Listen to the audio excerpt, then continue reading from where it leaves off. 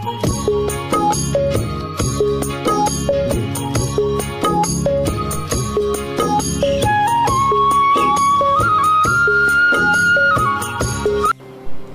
আলাইকুম, সম্মানিত দর্শক বিন্দু। ইসামুদ্দি কৃষি খামারের পক্ষ থেকে সকলকে জানাই আন্তরিক শুভেচ্ছা ও অভিনন্দন, সম্মানিত দর্শক বিন্দু। আমি প্রত্যেক সপ্তাহে ভিডিও আপডেট আপডেট দিয়ে থাকি।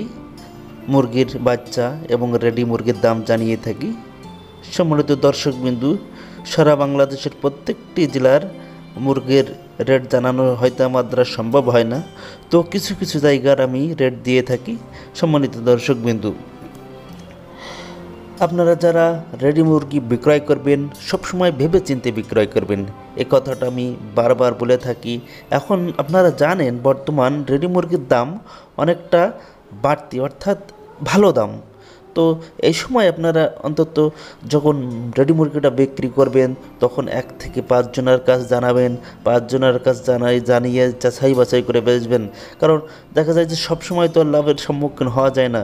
কিছু কিছু সময় লসও খেতে হয়, সেই কথা বিবেচনা করে আপনারা যখন মুরগি বেচবেন, তখন জেনে শুনেই বেচবেন। সম্মানিত দর্শক বিন্দু, এখনকার মতন এখানে শেষ করলাম। পরবর্তী আপডেটে আবারও আসব। আশা করি আমার ভিডিওটা প্রতিনিয়ত দেখবেন এবং সাবস্ক্রাইবার করবেন। ধন্যবাদ সকলকে। ভালো থাকেন, সুস্থ থাকেন।